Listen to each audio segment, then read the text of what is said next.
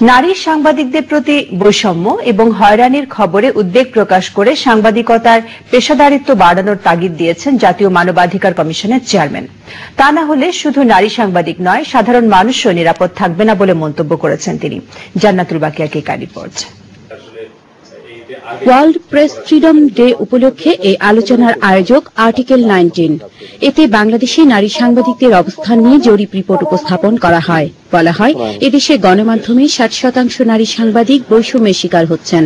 কাজের ক্ষেত্রে বিভিন্নভাবে বাধাগ্রস্ত হচ্ছেন নারী সাংবাদিক। তারা যা লিখছেন বা লিখতে যাচ্ছেন সেটাকে থামানোর জন্যই এই ধরনের এই মেথড গুলোকে ইউজ করা হচ্ছে।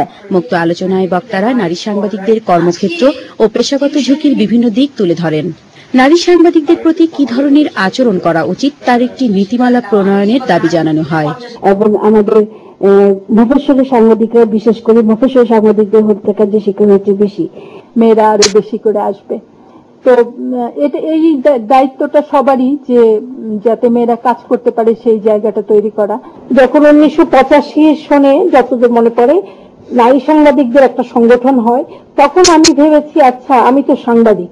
আমি নারী সাংবাদিক সংগঠনে কেন যাব? কর্মক্ষেত্রে নারী সাংবাদিকদের নিরাপত্তা দেয়া শুধু প্রতিষ্ঠান নয় রাষ্ট্রেরও দায়িত্ব বলে মন্তব্য করেন বক্তারা। শুধুমাত্র নারী সাংবাদিক নয় আপনাদের এই সাংবাদিকতা পেশায় professionalism is necessary there is no alternative to professionalism there is no alternative to ethical journalism এই কাজগুলো করতে হবে। নারীর প্রতি হয়রানি বন্ধে দু হাজার নয় সালে উচ্চ আদালতের দেয়া নির্দেশনা বাস্তবায়নে অগ্রগতি খতিয়ে দেখার সুপারিশ করা হয় ওই আলোচনায়। জান্নাতুল বাকা টেকা চ্যানেল আই ঢাকা।